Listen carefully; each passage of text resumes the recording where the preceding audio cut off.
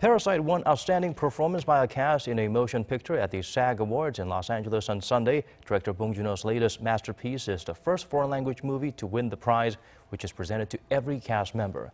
Parasite has claimed dozens of honors, starting with the Palme d'Or at Cannes last May to Best Foreign Language Film at the Golden Globes early this month. The film is expected to continue its winning streak next month at the 92nd Academy Awards ceremony as it has earned six Oscar nominations.